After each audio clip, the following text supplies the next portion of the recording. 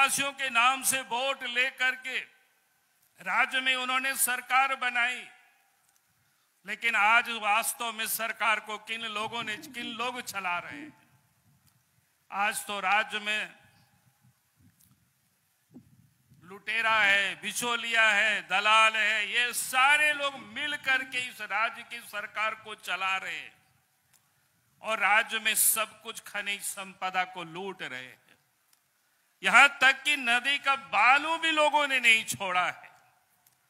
और हालत इस प्रदेश में ऐसी है, इस क्षेत्र में भी ऐसी ही है कि अब नदी में बालू भी नहीं बचा, अब गाँव घरों में, अब घर बनाने के लिए भी लोगों को बालू उपलब्ध नहीं हो रहा है।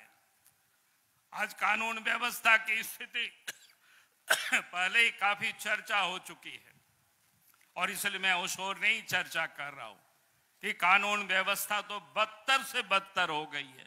माँ बहने यहाँ सुरक्षित नहीं है। और राज्य में चारों तरफ़ गौ तस्करी हो रही है।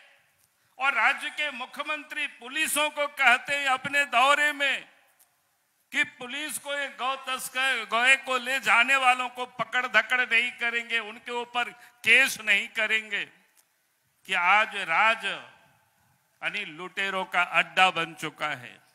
और इसलिए मैं आखिरी में देश के गृह मंत्री जी से मैं ज़रूर विनम्र प्रार्थना करता हूँ, झारखंड की जनता की ओर से मैं कर रहा हूँ, क्योंकि जिस प्रकार से आपके नेतृत्व में, देश के प्रधानमंत्री नरेंद्र मोदी जी के नेतृत्व में, आज इस देश में चाहे 370 हो, चाहे राम मंदिर हो, चाहे बहुत सारे, चाहे नॉर्थ ईस्ट की समस्या का आप सबने मिलकर के समस्या की आप दोनों ने, मैं कहूँगा कि इस राज्य में जो आज लुटेरी सरकार है, उस सरकार से आप हमें निजात दिलावे, यही निवेदन और यही अपील करके मैं अपनी बातों को समाप्त करता हूँ। बहुत बहुत धन्यवाद। जय हिंद, जय झारखंड, जोहार।